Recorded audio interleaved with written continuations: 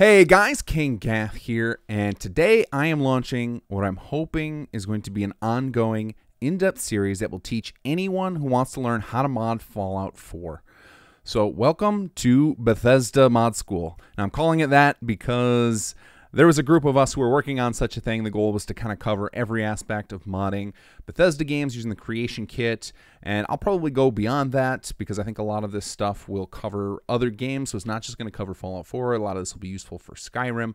And some of the skills I will teach you will go beyond even modding these games. So I'm going to show you some little tricks in Photoshop, GIMP, 3D Studio Max, etc. Basically, I'm going to try and dump all of the knowledge in my head uh, into YouTube videos. Now, it's going to take a long, long, long time to get there, especially because I don't have a ton of time to do this, so it's going to be a trickle. I'm going to be get you guys videos here and there, but uh, I want to start with this intro video to get your minds prepared. If you're if you're looking to get into modding, um, I have some things I want to tell you because it requires a certain mindset and I don't want to set up false expectations. I want to make sure you know what you're getting into. So, first up, I will say you don't even have to have any particular skills. All of my guides will assume nothing about what you know. You might find yourself surprised at what skills and hobbies you already have that will end up being valuable to modding. From like math and spreadsheets, you can probably come into one hell of a rebalance mod. If you like creative writing, well, everybody loves a good quest mod. You can do a ton even without voices. You like to build models or play with Legos? Well, you can easily design new workshop items. So it's not just coders and artists who can create cool mods. Now, my hope is that this series will give you a gateway to get into modding. I've been modding since I was a teenager, and back when I first started, the barrier to entry was really high. Most of the software provided by developers was only lightly documented, if at all, and it relied heavily on using community hacks and tools to actually pull off most ideas. What I found today editing Fallout 4 is that to a new person, nothing's really changed. We have all these ama amazing outlets to get information to folks, but a comprehensive path of going from knowing nothing to creating something meaningful is incredibly difficult. There also isn't really a great organized collection of methods and tricks the community has learned. Instead, they're just snippets spread out across forums, videos, and reverse engineered from existing mods, and I want to change all that. So now don't get me wrong, modding is still difficult and it's still going to be difficult after watching these tutorials and it requires a certain temperament. You have to be willing to try things, to experiment, even fail. It's all part of the journey. You've heard stuff like this before, and I'm going to reiterate because it's all true. So you you have to be willing to accept that you won't ever know everything, and that's okay. I run into tons of things I don't know how to do all the time, and there are inevitably things I will teach you in this series that are a dumb way of doing things. Maybe I've done them some way that's stupid, and somebody can call me out and hopefully show me a better way. At which point, I'll share that new way with all of you. It's it's a constant process of learning, experimenting, failing, and then eventually triumphing by just kind of throwing spaghetti at the wall till you get there. The point is, is you're not alone when you mod. Everyone goes through these same struggles, and most people are actually willing to help you with them. So let's start by setting expectations. So as, as, I said before, modding is hard. In fact, creating anything you can be proud of is hard.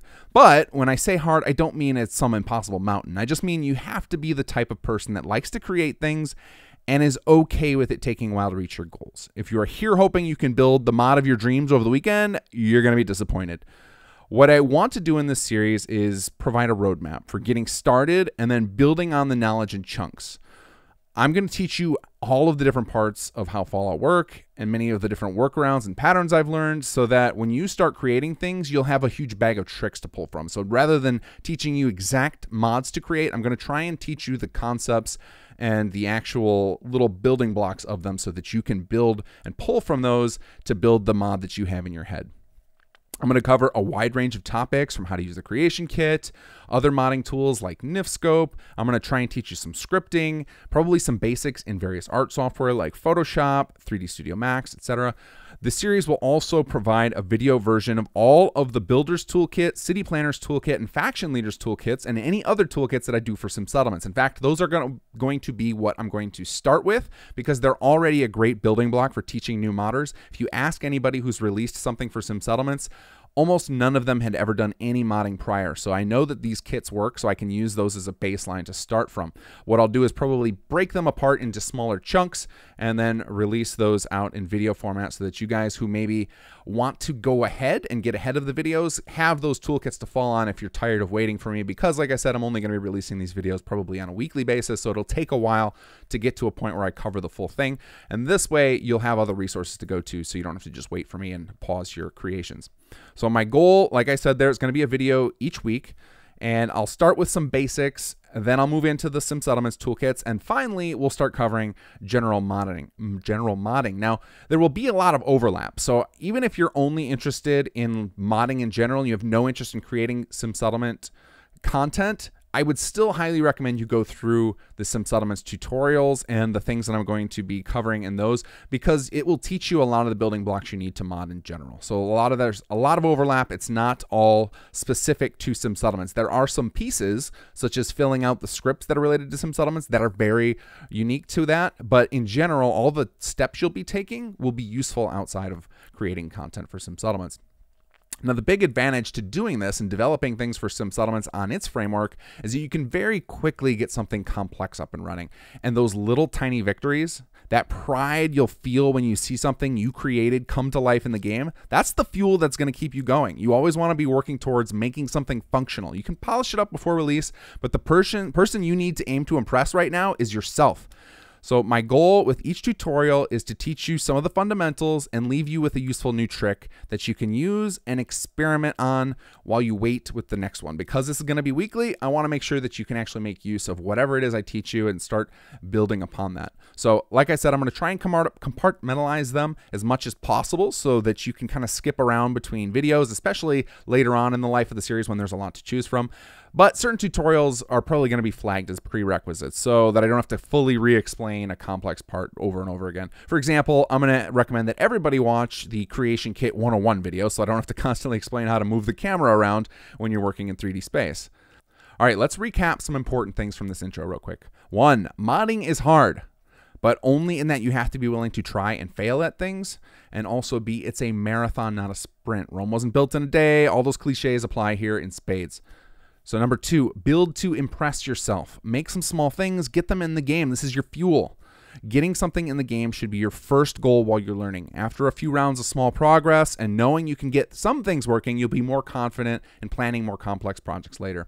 Number three, you are not alone. Not only am I going to teach you as much as I can, but we've got in a group of like minded individuals in the Fallout 4 modding community who are excited to share what they've learned and will be happy to help you along the way. And if you're interested in joining this community, head to the simsettlements.com forums and request an invite to the Builders Toolkit Discord server.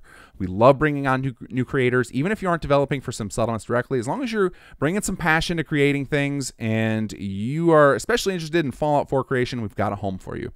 Now, I'm open to suggestions on the direction to take this series as, it unfolds. So if there's particular things you'd like to see me cover, definitely comment on them below and I'll try and add them to the list of plans for the series in the future.